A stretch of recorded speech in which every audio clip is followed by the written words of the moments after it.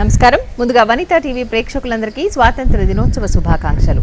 నాలుగు తరాల స్త్రీల సమస్యలకు వారధి ఆమె. పోరాట పటిమకు ప్రతీక ఆమె. మూర్తి భవించిన ఉద్యమ రూపం ఆమె సొంతం. వ్యక్తిగతంగా సామాజికంగా ఎన్నో ఆటుపోట్లను ఎదుర్కొని నిలబడిన శత వసంతాల పోరాట యోధురాలు కొండపల్లి కోటేశ్వరమ్మ. స్నేహశీలిగా అజాత శత్రువుగా చరిత్రపై తన విప్లవ సంతకంతో చెరగని ముద్ర వేసిన కొండపల్లి కోటేశ్వరమ్మ గారిని కలుసుకుందాం. వారి అనుభూతుల్ని అనుభవాల్ని పంచుకుందాం.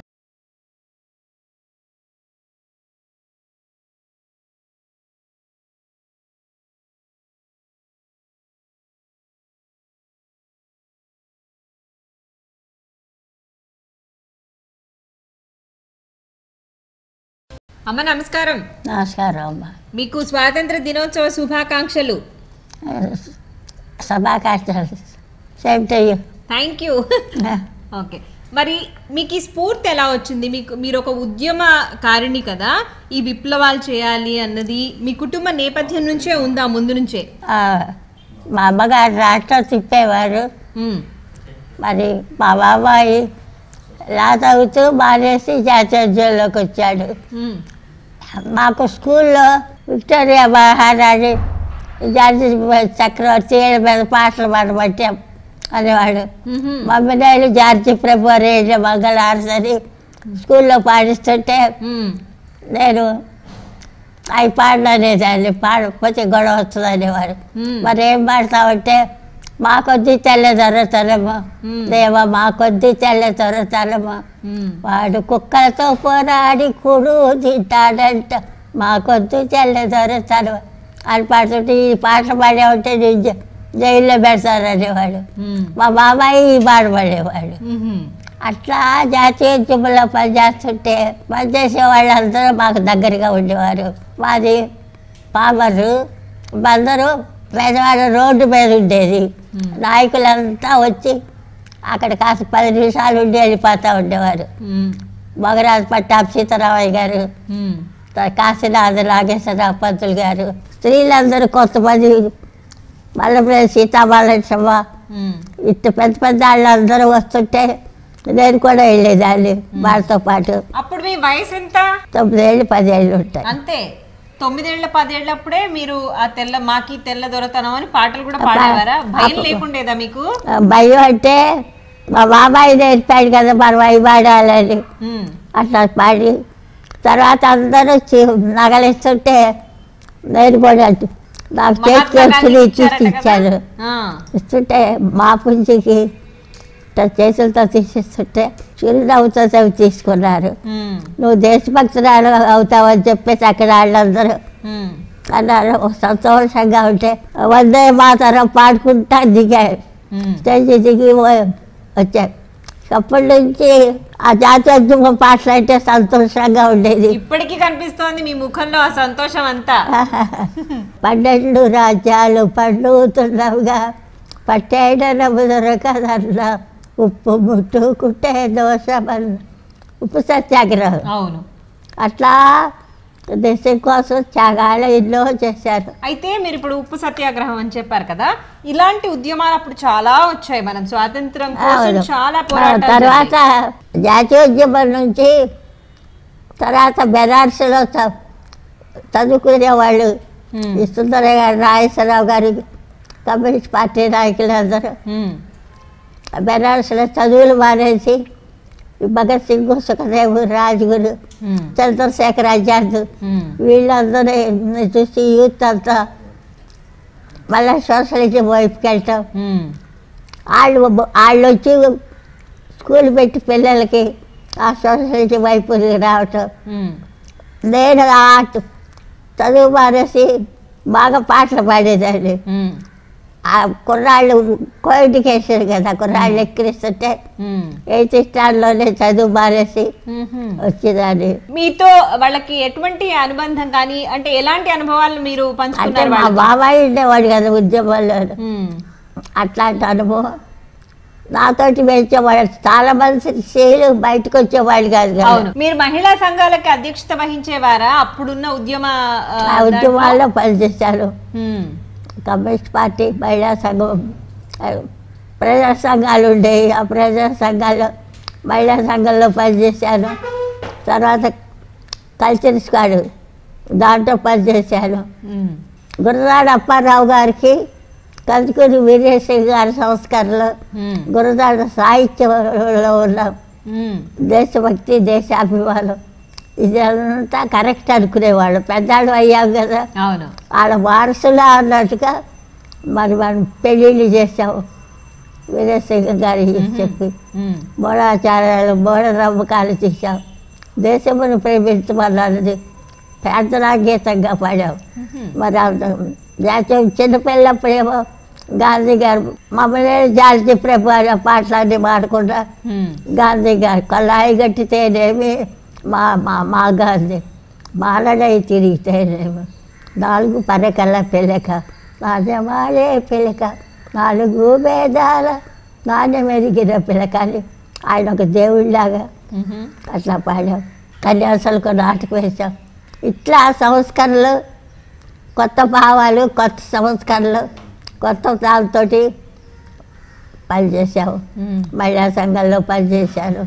ఆ ఉద్యమ స్ఫూర్తితోటి రచనా సంఘం. అభ్యుద రచయితల సంఘం ఉండేది. దాంట్లో మరి శ్రీశ్రీ పాటలన్నీ పాడేవాళ్ళం. అవునా.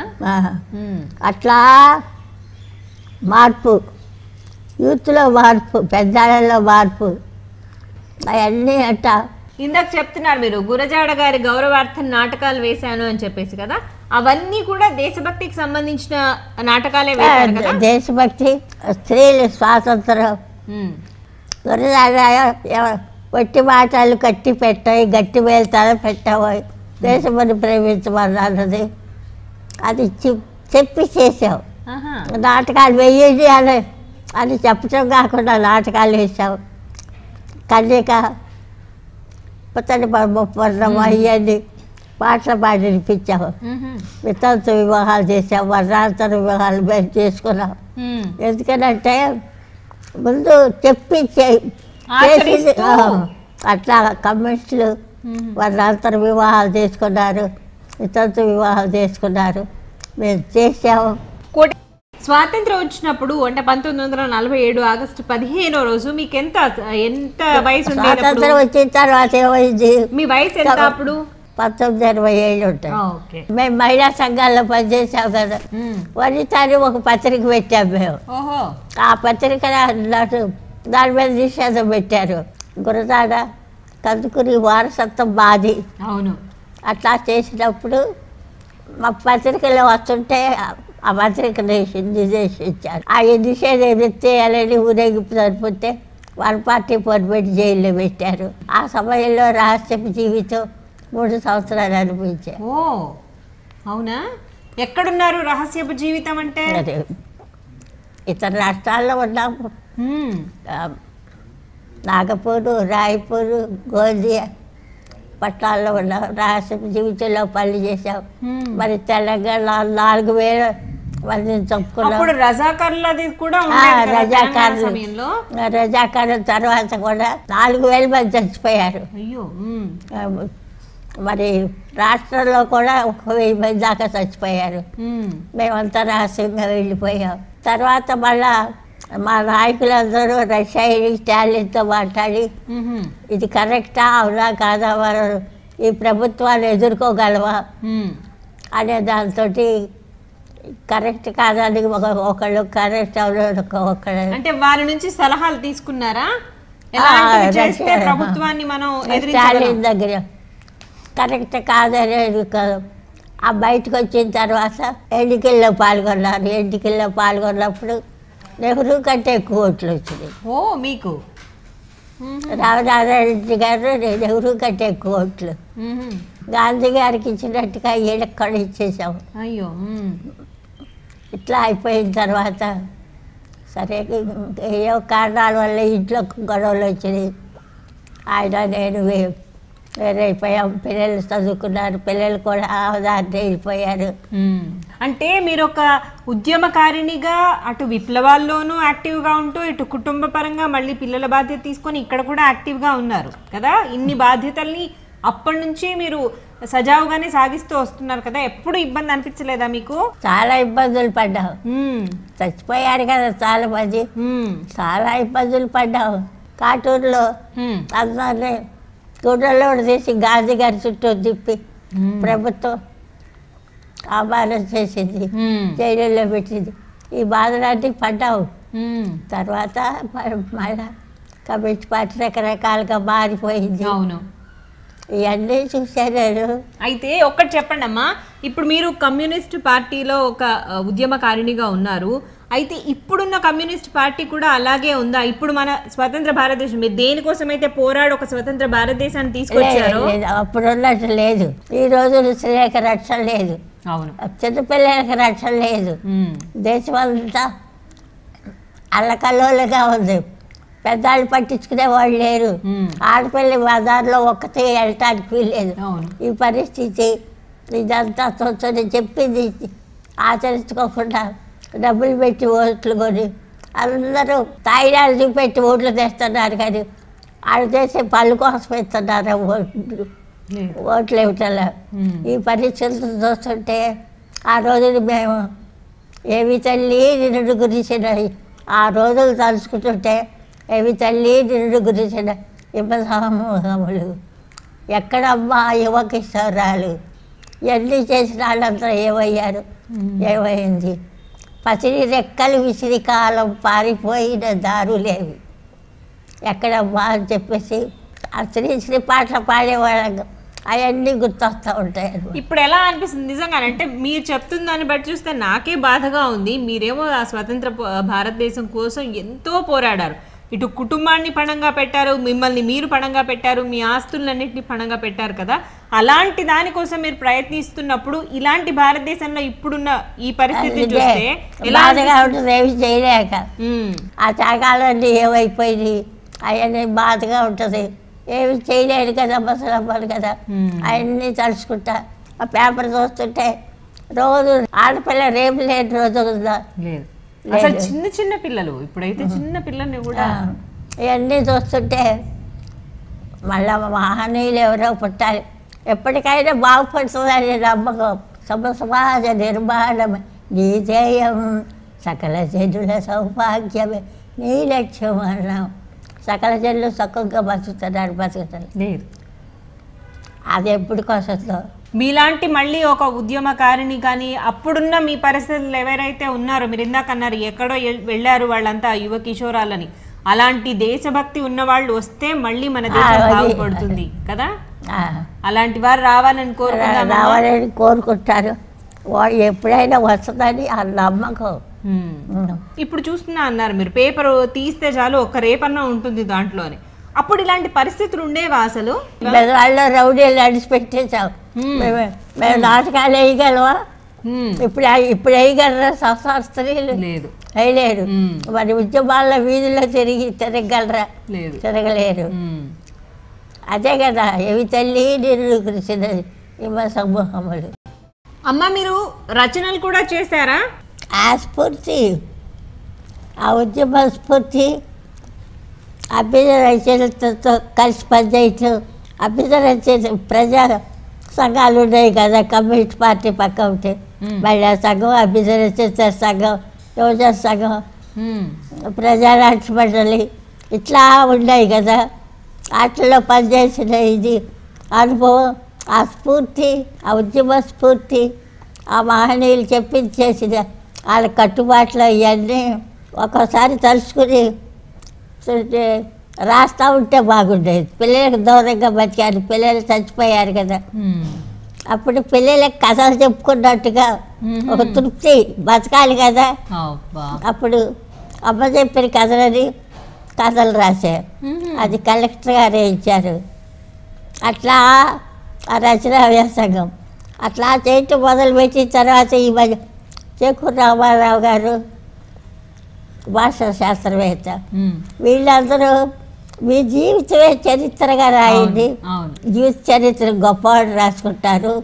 మన సాంప్రదాయిక కాదు రాయాలంటే వాళ్ళు ఏమన్నారంటే మీరు సామాన్యులు ఎలా అవుతారమ్మా? "ఉమ్, అదే వాళ్ళు చెప్పారు.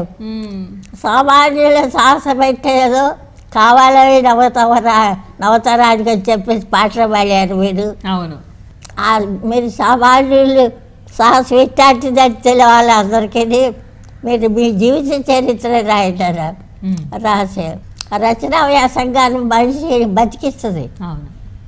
ఏదో ఒక మంచి పని చేస్తున్నామంటే జీవితం పెరుగుతుంది. ఏది మంచి పని చేయటం లేదు అనుకుంటే బతకలేము. అంటే ఇప్పటి వరకు మీ జీవితాన్ని చూసినంత వరకు కూడా మీరు మంచి పని చేస్తూనే వచ్చారు. అదే. అదే నా నాకు అన్నీ అయిపోయినా నేను ఏడుస్తుంటే మా అమ్మాయి పేరు కరుణ. కరుణ అయితే ఆ పిల్ల ఆ అమ్మాయి చచ్చిపోయినప్పుడు ఏడుస్తుంటే మా నాయకులు వచ్చి నన్ను కన్ను చచ్చిపోలేదమ్మా. కన్ను బతికుంది. నీ కన్నీళ్ళలో కన్ను ఉంది. అక్షరాల్లో బతికించమ్మా నీకు తృప్తిగా ఉంటుంది మాకు తృప్తిగా ఉంటుంది అని చెప్పేసి. నాకు సలహాలు ఇచ్చారు.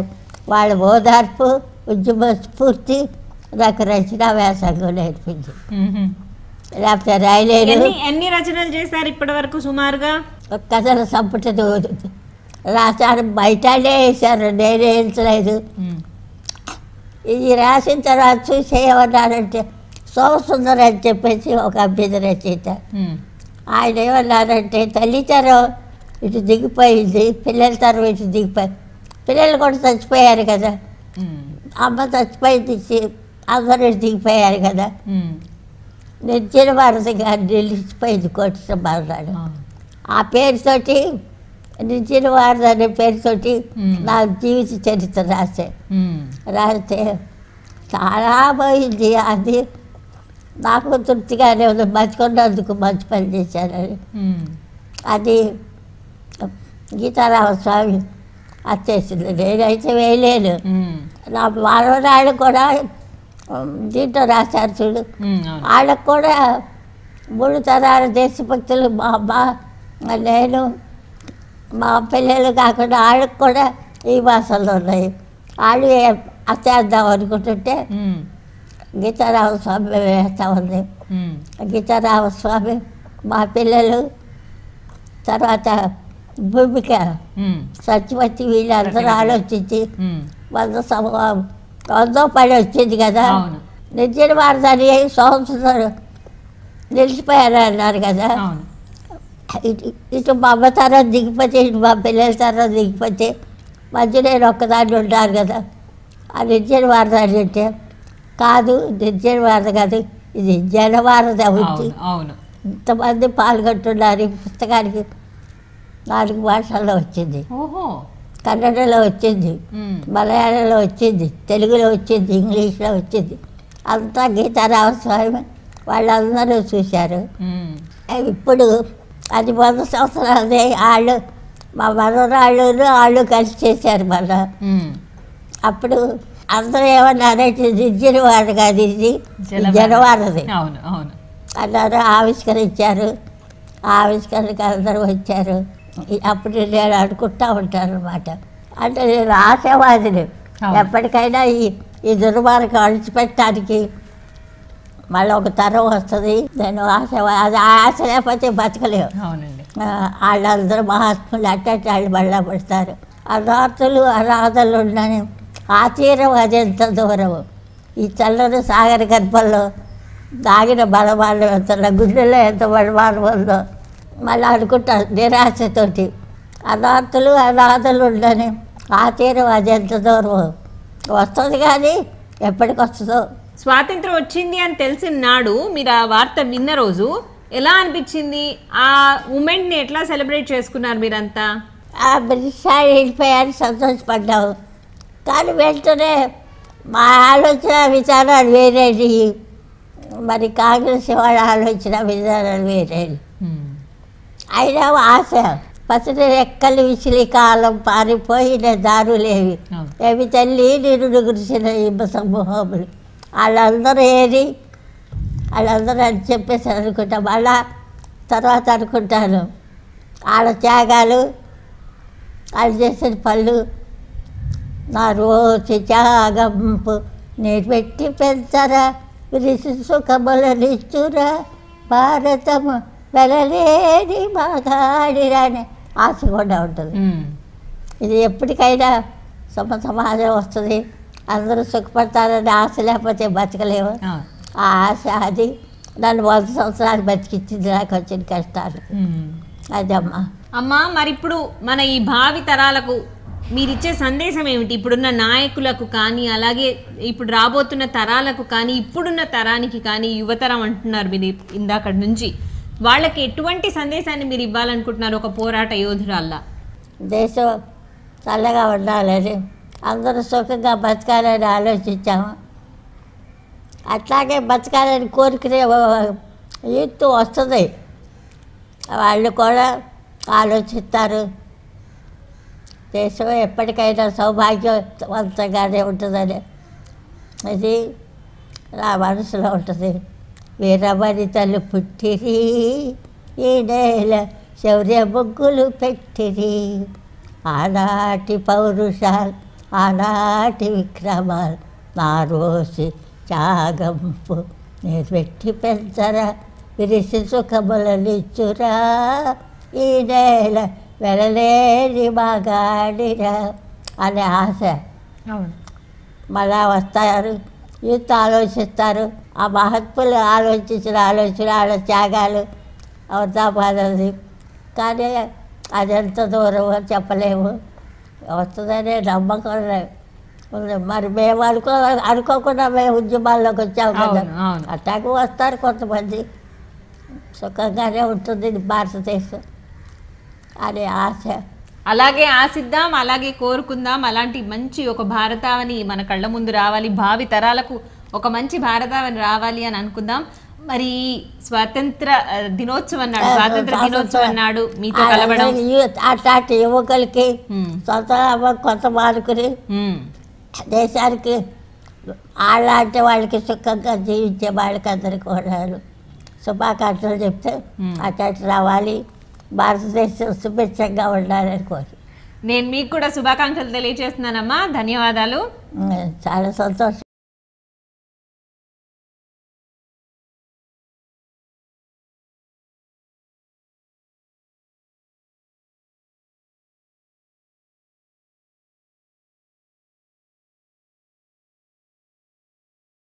చూడండి. కొండపల్లి కోటేశ్వరమ్మ గారు తన వంద సంవత్సరాల అనుభవాల్ని అనుభూతుల్ని మనతో పంచుకున్నారు. మరి అప్పటి భారతావని ఎలా ఉండాలి అని కోరుకున్నారో వారు అలా ఇప్పుడు లేదు. మరి అలా ఉండాలి అంటే యువత మేల్కొనాలి వారిలో దేశభక్తి నిండాలి అని కోరుకుంటున్నారు. మరి మనమందరం కూడా అదే ఆశిద్దాం.